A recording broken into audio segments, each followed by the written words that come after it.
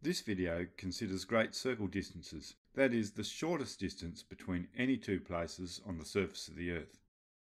Now so far we have only considered the distance between two places that are aligned either on a parallel of latitude or on a meridian of longitude. Now it can be shown that by placing a string on a globe and pulling it as tight as possible, that the shortest route between any two points on the globe is part of the great circle joining the points. You might like to check this for two points that are on the same parallel of latitude. The shortest distance is not simply travelling east or west. This is the formula which gives the angle subtended at the centre of the Earth by any two points on its surface. When using this formula, it's important that latitudes that are south of the equator are entered as negative. The shortest distance between any two points on the Earth's surface can be found by applying the Great Circle formula to find the angle subtended at the Earth's centre and then using it in either of the formulas distance equals 2 pi r times theta over 360 or distance equals 60 theta depending on whether you want the answer in kilometres or nautical miles. The worked example shows the distance between Cairo and Brisbane. Now the formula is not as formidable as it appears. It's just a sheep in wolf's clothing. We're given all the latitudes and the only tricky thing is finding the longitude difference. This is sometimes best worked out using a bird's eye plan view diagram. Cairo is 31 degrees east of the prime meridian and Brisbane is 153 degrees east of the prime meridian. To find the longitude difference in this case we'll need to subtract the two longitudes 153 degrees minus 31 degrees equals 122 degrees. Now we pop it into the formula along with the latitude information. Remember that southern latitudes are entered as negative and then we let our calculator do the work to find out theta.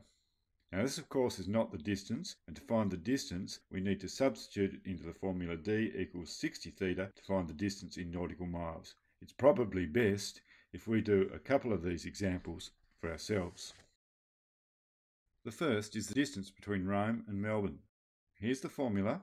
We have the latitudes, but we need to find out the longitude difference, which can be found using a plan view. Rome is 8 degrees east of the prime meridian, and Melbourne is 145 degrees east of the prime meridian. This is the angle that we need, and it can be found by subtracting the two longitudes. The longitude difference is 137 degrees. Put all the information into the formula, remembering to enter the southern latitudes as negative. This particular calculation is one which works well if it's done all as one big long string on your calculator, and in fact I recommend doing it that way because it may save you from errors. You'll get a value for the cos of theta, and then you'll use the inverse cos to find out that theta is equal to 147.28 degrees. This is the angle subtended at the Earth's centre when a journey is made from Rome to Melbourne. To find the distance, we use the arc formula. d equals 2 pi r times theta over 360 because we want to get the answer in kilometres. Find the answer equals 16,377 kilometres. Our final challenge involves finding the time taken to fly from Sydney to Los Angeles. And the first thing that you should notice in this question is that the speed of the jet was given to you in knots. If the speed is in knots, then the distance should be worked in nautical miles, but that'll come later in our workings. We start with the formula. We know the latitudes and the longitude difference can be found with a diagram. Sydney is at 151 degrees east, and Los Angeles is 118 degrees west. The angle that we need is marked in red. In this case, it is found by adding together the two longitudes and subtracting them from 360 degrees. The longitude difference is 91 degrees.